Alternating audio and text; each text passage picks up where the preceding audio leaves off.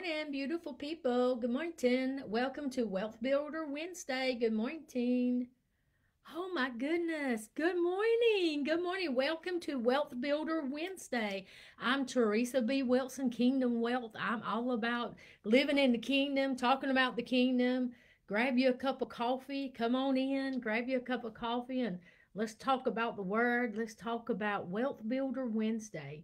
Um, you know, I had the pleasure. I'm I've got my notes because you know I can't show up live if I don't have my notes ready.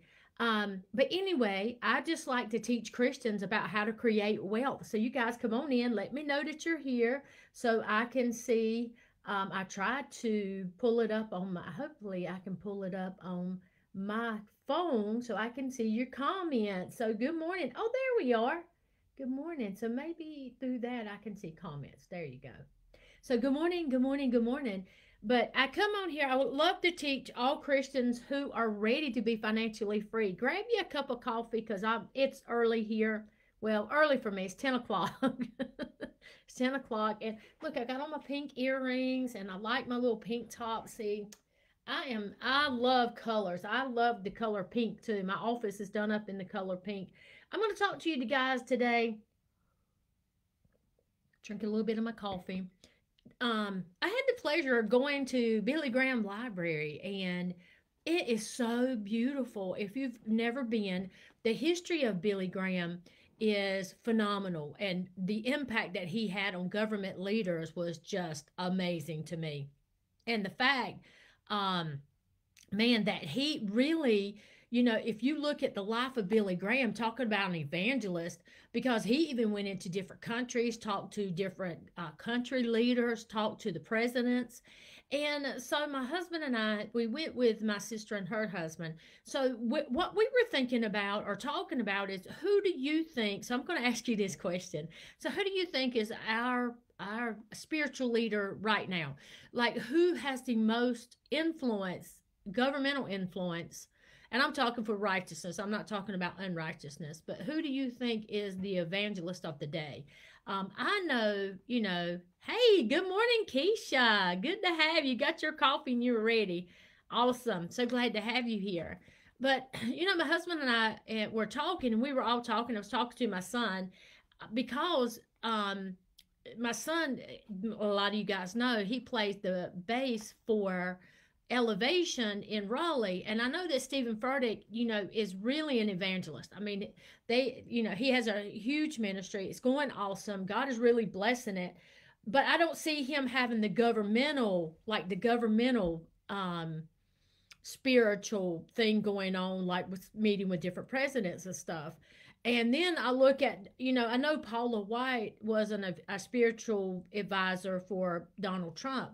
But do we have any? Do we have any godly spiritual advisors? You know, I listen to a couple of people like Lance Wallnau, and I see that he has a little.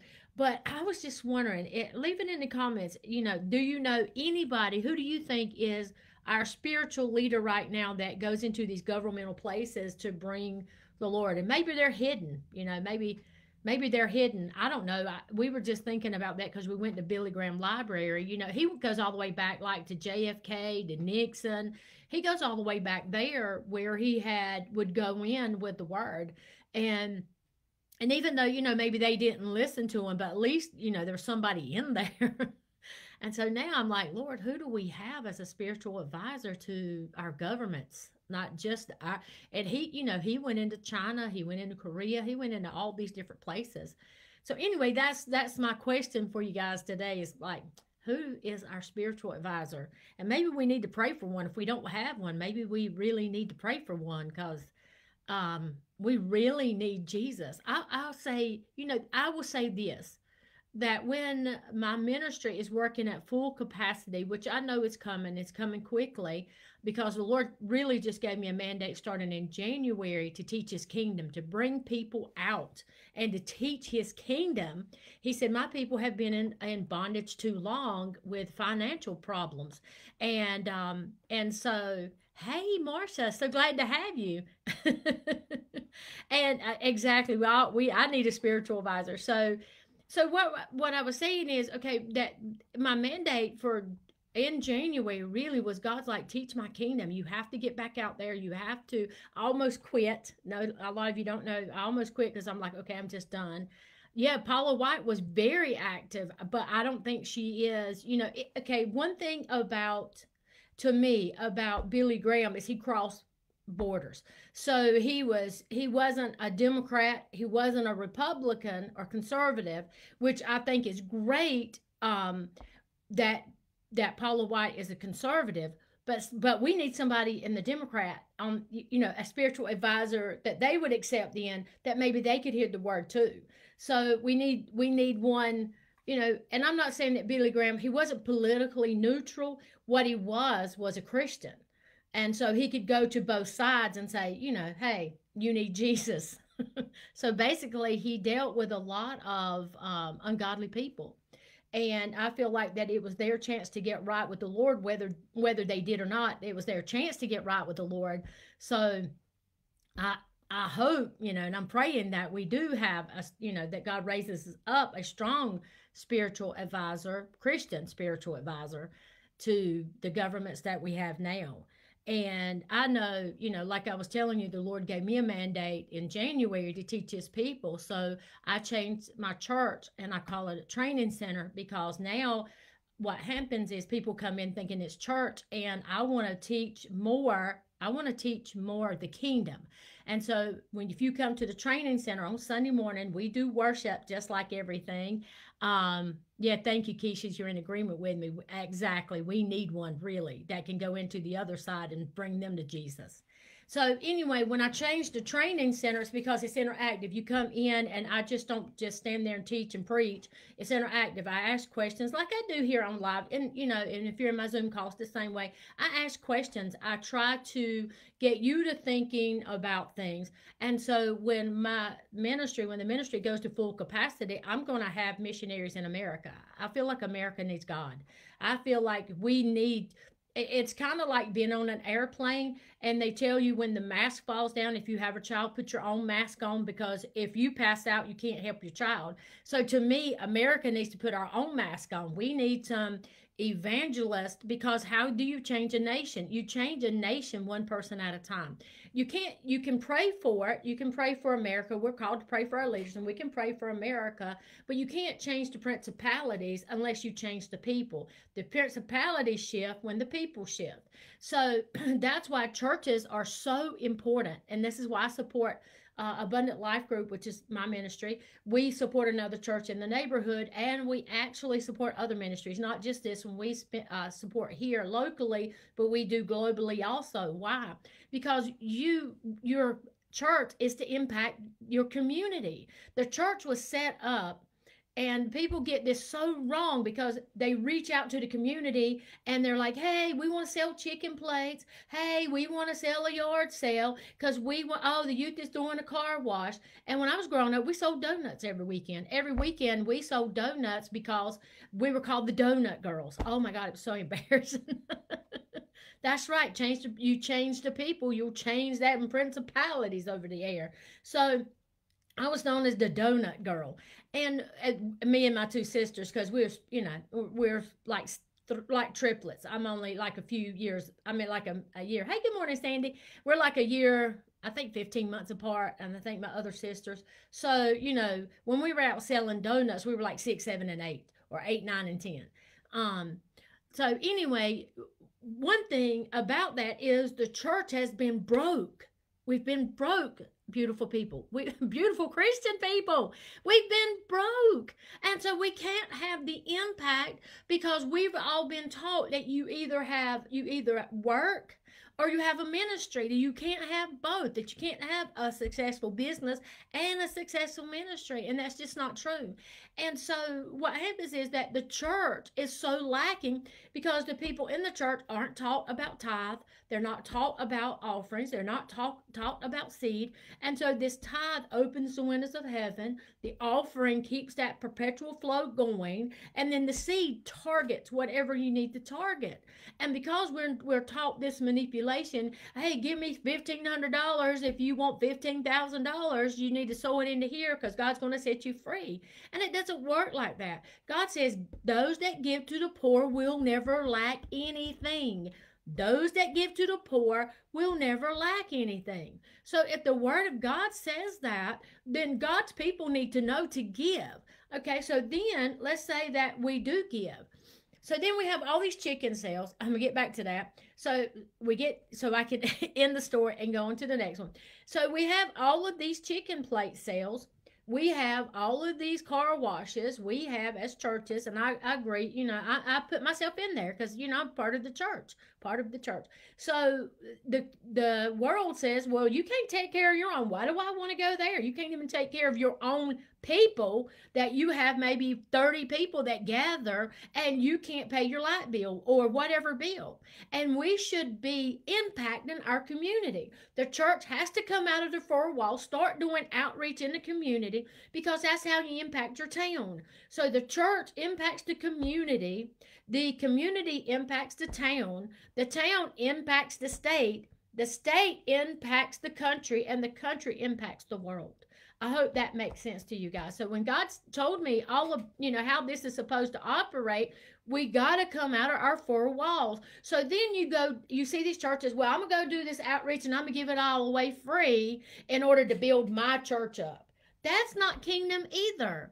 We are to give out and be a funnel. So if you have a motive of I'm gonna build my church up, when I we go out to do outreaches, this is what we say: Jesus loves you. We go to other churches. We go to other churches and set up. We don't just set up here in my community. We go to other churches in the community to set up to give away, so that the community knows Jesus loves you.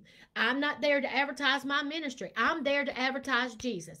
If I advertise Jesus, right? And I start giving out and I advertise this church in the community loves you. We, you know, and I start saying, okay, we want to go out into the community. We want them to know that Jesus loves them. I'm sowing a seed. Then the rest is going to come. But if I go out into the community and I say, well, I'm going to give to you as long as you give to me, as long okay i'm gonna give to you but you need to attend my church. I'm gonna give to you then it's a hook on it. It's a hook on it. See i may give to somebody that will never ever come to church. I may give to somebody that will you know that that will never accept christ. I may give to somebody that i never see again. But I'm going to reap what I sow. That means if I give to the poor, I'm not going to lack anything. So I don't have to give with that hook on it of you owe me and so when you go and you give out to the community because you want to increase your numbers, you're saying, "Oh, I got I got this with a hook on it." No, we are to freely love and freely give. And that's that's how the kingdom operates. And so so this is how you displace principalities. So once I impact my community for the Lord, then the principality over my community will change. Okay, till uh, and then you will have open heavens. You will have a righteous community. Then it will go into my town. Then the principality over my town can change. And then the principality, hey, good morning, Mary. So glad to have you on here. Um, yeah, you may not see it. That's right. Because, you know, you, I, this is my prayer. And this really is my prayer. Lord, let them encounter you. When I walk away, I don't care if they had know my name. I don't care. I don't care if they ever remember me. I don't care if they ever remember my name. But when I walk away, let them know they've encountered Jesus. That that's what we're supposed to do, right? We're supposed to impact our community. God just let them know that today they have encountered you and let them remember that. Because if you encounter me, I mean, I may have some good, good insight, but I can't raise the dead, heal the sick, and set the captive free. I don't have that power. It's only through Jesus Christ, the authority that's been given to me, and because I represent a kingdom, so I can go out and do this.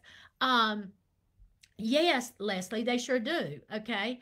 Um, and we need everybody needs provision from the Lord. But the word says, if we give to the poor, this is uh, Pastor uh, Leslie, and he is in India. So glad to have you today. Um, but if we give to the poor, God says He take He takes care of us. And so then, So we have this that we're giving to the poor. And I know most of you on here, I know every one of you, I know that you give to the poor. But then the impact that you you look at your life and you're like, well, I've given all this money away. Uh, my husband had get, and uh, gave away 10000 We've given away $10,000 to a couple of churches at one time. And then I look back and I'm like, oh my God, you know, where where did the their giving, we didn't have the harvest. We didn't have the harvest that went with the giving. So, what were we missing? What you're missing are opportunities. So, you are tithe payer, you give your tithes, you give your tithes, you give your offering, and that's where you begin. And people think, well, I don't need to give, I don't need to give my tithes. I'm on a fixed income. It doesn't matter what you have in your hand because let me tell you, you can't have to walk your way out of poverty. I've done this over and over and over. I've seen it in my own life, and I have even witnessed it in other people's lives that I help. So we start, you know, I had a lady um, call me and she's like, Well, you know, I live, uh, we, we're tight. It's tight. You know, things are really tight. Do I, I don't know if I should uh, keep my tithe or should I give my tithe? And I said, Well, okay, let's I don't have an opinion, okay? This is not my opinion. I, what I'm telling you guys is not my opinion. I'm just telling you what does the word say. So you go into Malachi, and in it it says, and Malachi says to bring the tithe into my house. He doesn't say about the offering. He says bring the tithe. The offering is something else. He said, You're robbing me in tithes and offering. And when he talks about robbing him in tithe and offering, it means that you're tying up my hands and keeping me from blessing you because these are biblical principles. These are the principles that I set up to bless you. The world can't understand it. Hey, Susie, so glad to have you. So the world can't understand what what it is to give because we are taught what to pack up, pack up, pack up. We we are to keep it in the bank. We are to store up, store up, store up. The government's going to fail. The economy's going to fail. Everything's going to fail, right? America's going to hell in a handbasket. All of these countries are going to hell in a handbasket. We can't pay our debt. We owe too much. But if we understand that the provision of the Lord, He says, do these principles, and it doesn't matter what economy you're in, He said, I can bless you. In Ephesians, I think it's Ephesians 6 and 9, don't quote me on that, but I know it's in Ephesians. He said that He can bless you whether you're bound or free. It doesn't matter. Whether you are slave or whether you are free, it doesn't hold God back from blessing you. He can still bless you. Look, okay, look at the children of Israel. When they left out of slavery, they left rich. They left with everything that the Egyptians had. They left with the gold, the silver. They left with the money. They left with everything. Um, why? Because God says, I can bless you with your bond of free. So when we hold on to our tithe, we are saying, I, I can't trust you, Lord. And yet in Malachi it says to trust him. He says, prove me. It's only scripture, only scripture in the Bible that says, prove me. It says, in some things it says, test me, and some it says, prove me. If I will not open up the windows of heaven open up the windows of heaven. So, as a tithe payer and giving offering and sowing seeds, how do you harvest that? So I've paid tithes for years and I still don't have no money. I paid I've give offering for years. I don't have any money. What you do is you have to partner with the Holy Spirit. Number one, are you giving tithes to the right place? You know, um, okay, please pray. Uh, Pastor Leslie says, Please pray for this year. We are still not got sponsorship for the summer vacation Bible school for children. Anyone want uh, to help? He's got his his PayPal stuff out there. So right there, right there's an opportunity. If you need to give an offering or sow a seed, right there's a great opportunity with Pastor Leslie. So the thing about it is, okay, so why aren't you seeing a harvest? You've given your tithe, you're giving your offerings. You know, where are you giving your tithe to? Take a look is my church is my church a barrel or a funnel is my church does my church keep this tithe and not do any outreach and i don't care if you go to a mega church like elevation or you go to a small church that has 10 people if you have a church that's too small to do outreaches, then your church should be giving money. We sponsor another church monthly in order for them to do outreach daily. They're doing outreaches daily. So we sponsor them monthly in order for them to do it daily. So because we're small congregation. So you need to say, is my church a barrel or is it a funnel? So then you start paying your tithes. I say, you know, giving your tithes because I feel like it says to bring that. I don't feel like you pay them. I think you bring them in and you give them to the Lord. So here you are, you have your tithe and you're out there. So what has happened to you where you're not getting anything back? So I'm going to talk to you about your harvest for just a few minutes. Your harvest is opportunities. We miss opportunities every single day. We miss the opportunities that God wants to bless you. So let's say you're giving your tithe, you're offering and your seed, and now God is presenting you with an opportunity. Your opportunity can walk right in the door and ask a question. Your opportunity can can uh, be uh, over here in a conversation in a grocery store. Your opportunity is all around you, but your eyes have to be open to the opportunity. I remember um, we were living in Florida and things had got really tight and um, and an opportunity walked in my door. Uh, a young girl came in uh, that was there to see my son and she's like yeah i'm getting ready to shut down my business and i'm just tired. I want to work a job. Um, it was a pharmaceutical delivery business and she's like yeah i'm tired of doing that. I want to do something different. And so what i'm going to do is i'm going to shut this business down. My ears perked up. Okay, uh, here's an opportunity, right? So I asked her, why are you shutting it down? And she's like, well, I'm just tired of doing, I am just tired of, you know, just doing this delivery business eight, nine hours a day. Um, she had nine drivers. And I said, would you consider selling it? And she's like, Mm, yeah. Uh, would you finance it? I'll pay you monthly. You know what it's bringing in. I'll pay you monthly. Would you finance it? She's like, mm, yes. Okay. Most people wouldn't have seen that as an opportunity. It would have just said, Pooh. Um, because why? Because I didn't have the money to pull out and pay her for this business. But what I did have was a a plan that God had given me. And so this thing works for other people as well. It works for you, it works for everybody. Ask God to open your eyes to the opportunity. Where you get stuck at, beautiful people, and I love every single one of you. You know I do. I love, I love that you show up live. I love that you're showing up for the Lord. And let me tell you something, God is going to show up for you in a mighty way. You're going to be amazed because this is the year for your year to prosper. But what happens is we miss our opportunities because we don't understand that there is an opportunity. So the Lord, I, hear this all the time. Well, the Lord told me to write a book two years ago. Well, the Lord told me to start a YouTube channel. Well, I do all of this work. I do all of this crochet work, and I do all of this artwork, and um and and I just you know I just love doing crafts. And yet these are businesses that God's trying to to tell you, well, the Lord told me to do Facebook Lives. Well, the Lord told me I needed to start a ministry. Well, the Lord told me I need to go feed the homeless. We ha- there are opportunities. There are opportunities that you're missing. You didn't start the YouTube channel. You didn't write the book. You didn't get on Facebook Live. You didn't get on TikTok with doing your crafts and letting people see how you do your crafts and selling your your stuff on TikTok. You didn't do any of that. Why? Because you didn't see that God's trying to bring you a business or an opportunity to you. I remember in this area, there was a lady that um, started a candle business in her uh, garage. And this is in Fayetteville, North Carolina. You can look it up. I think it's Southern Elegance. Uh, I think it's Southern Elegance Candle Company. I'm not sure. You need to go read her story because it's in this area. Fayetteville is about 45 minutes from me. But she started in her basement. I mean, not in her basement, in her garage.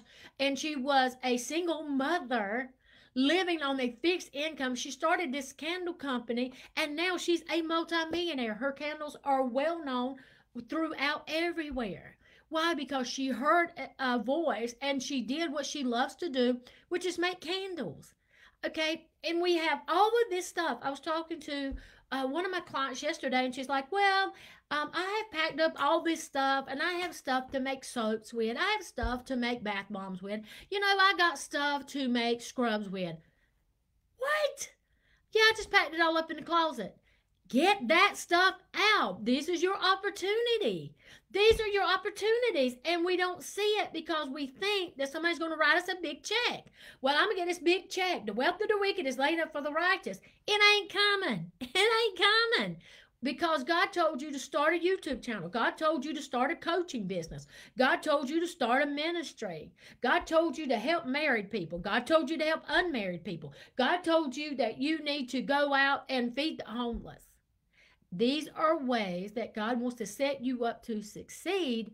But if you don't hear it, maybe you heard somebody wanted to sell their business, but you don't have the money for it. Maybe somebody wants to sell maybe somebody um, you know wants to go into partnership with you. Maybe somebody um, you know you hear that uh, there's a condo for sale and you could do an airbnb. So you have all of these missed opportunities because you can't see that what you're doing, you can only work so much to create so much income. You can make a hundred dollars an hour and you can only there's only so many hours in a day that you can make a hundred dollars an hour but you have to have a business in order to create wealth. You're going to have to have something that you can put your hand to that brings in money. Yes, this lady, she started out making candles at home, but guess what? Now she has a whole warehouse where other people make her, her candles, and all she has to do is sell them. All she has to do is sell them. So we have to start small and go big. And because we live in a kingdom, what does it say? Don't despise the day of small beginnings because you're going to start small and you're going to go big. And so today, beautiful people, you know, I just want to tell you that we started boot camp the uh, 1st of April, Wealth Builder Boot Camp, and it has been amazing. We've heard testimony after testimony. Last night, one lady um, was talking about, Monique was talking about, she gave $10 to as a tip for an offering. And she went to pay her, um, she has a a um, sober living home in Las Vegas.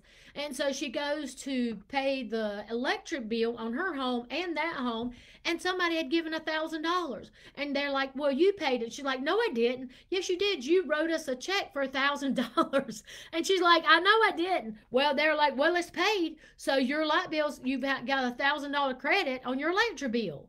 I'm like, Oh, praise the Lord. Thank you, Jesus. Hallelujah. That's how God does. And so and so you may have missed out on boot camp, but you haven't missed it because right now um, I am opening up. Um, it's a new program. It's called Five Steps to Money Mastery, and it's a new video package where you can purchase and you can you can go through the program and just see what we're doing. Um, hey, Marcia. Um, okay, how do we change between God and our own desires or believing? Okay, let me get my glasses so, or believing in God to provide or acting recklessly. First of all, your relationship with the Lord is greater, greater than that. God places the desires in your heart. He says that I what does he say? He said, I'm going to give you the desires of your heart. So first of all, he places that desire in us. So when it's time to feed the homeless, you're going to feel the greatest desire to feel the to feed the homeless. When you want to create soaps, you're going to feel that draw to create soaps. And so you feel that urge and you put it to the back. You'll feel that urge and you put it to the back. That can't be God. And it is God.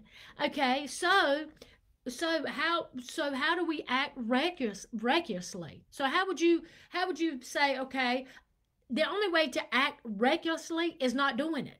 That's the only way. If you step out in faith if you take one step god's going to take five but what happens is we start a business, and maybe that uh, maybe we start a business, and we know that God's called us to us, and we're still broke. Well, we have to speak to that business. You will prosper. The word says that whatever I put my hands to prospers. The word also says is that He gives you the ability to create wealth. So you're going to be able to create wealth with the thing that God has given you to do. But we're going to have to begin to take the authority because that authority's been given to us and say, you know, have an artist friend that she looks at her paintings and she said, you will sell for $2,500 and you will go to the right home right? And so she begins to speak speaking out what she wants to happen because the Lord says what? The power of life selling that, and death, I can't sell nothing, is in my tongue. I can either create or I can either kill. So I, you will sell. And the same way with a realtor that I was working with. Okay, five houses, you will sell. These five houses will sell. Okay, so or I can't sell nothing. I I I've got all these listings and I ain't sold nothing. So you're coming into agreement with heaven, or you're coming into agreement with hell. You're coming into agreement with life, or you're coming into agreement with death. So there's no reckless out there. And the other thing is maybe you start a business and you fail. Okay. So that business that I had, the pharmaceutical business, was stolen from me. I didn't stop, kept on going. Okay. All right. Now the enemy's got to pay me back seven times for the business he stole. Right. And, um, and so we move forward that way. But the problem is you don't trust yourself. You don't, you're not trusting yourself to really hear God. And so and God speaks most of the time, it's this still small voice, not this loud thunder. He doesn't say, go do. It, you'll feel this pushing. You'll feel this urge. You'll feel this urge. It's just a little unction. It's a little unction. You know, just like you, you'll be led to give. And God said, give them $10, give them $20, or you'll feel led. I need to get on YouTube. I just, I don't know why I'm going to say it. I just need to get on YouTube. I just, I just need to. And, and when you feel that unction, just start and let God figure it out as you go along. You partner with this with the Spirit.